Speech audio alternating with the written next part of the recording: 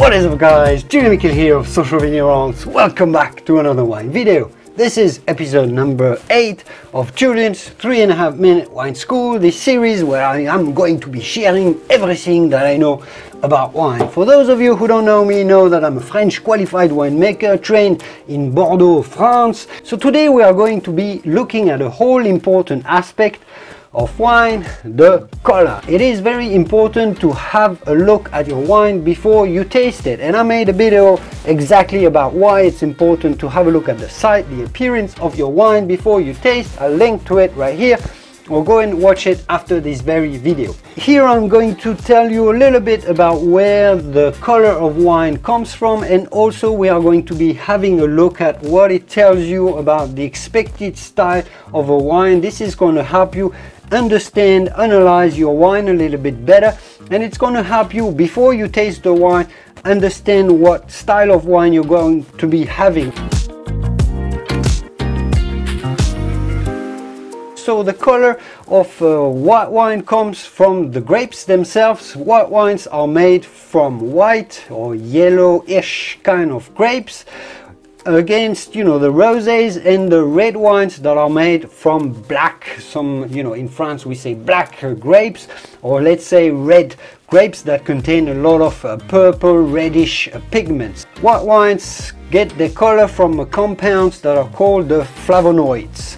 Uh, it's a bit of a complex scientific term but this is essentially a natural pigment of uh, white grapes. A few terms classic uh, term for describing white wine is called lemon yellow. Sometimes it's going to have a little bit of a greenish hue to it and uh, that's the, definitely the case with this uh, white wine that you can probably see here. So this is going to be more like a lemon green uh, yellow. Some uh, yellow, some white wines are going to tend towards more of an amber sort of brownish color these are going to be wine that are more oaked, that have been fermented or aged in oak, and also wines that have been aged uh, in the bottle for quite a long time. The color of a white wine is going to evolve over time in your cellar as it ages from bright lemon yellow to more amber and brownish orangey hues as it ages. So you can already sense that the color of a wine is not going to be a guarantee exactly the style but it's going to give you an indication okay if it's a little bit brownish I should definitely expect something fuller bodied perhaps with some oak perhaps sweet perhaps with some evolution in age. Obviously you will want to complement this with sniffing the wine and this is going to finish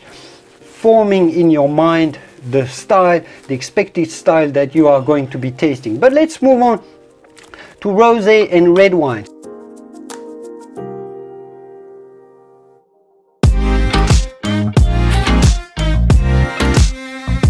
I think looking at a wine is also most certainly part of the enjoyment. I often say that this is a little bit like looking at a flower. You just enjoy looking at a flower because it looks good because the colors are nice. And I think it's the same with wine.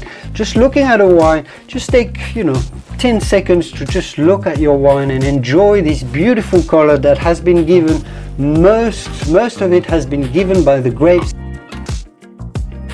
so the color of a white wine is going to tell you uh, the style of wine. If it's a little bit yellow, uh, lemon yellow, so there is all a whole terminology around wine colors as well. And if you really want to learn more, I wrote a complete article on my blog, Social Vignerons, about the whole spectrum of colors of wine, and I'll link to it right here, also down in the description below if you're interested in the terminology.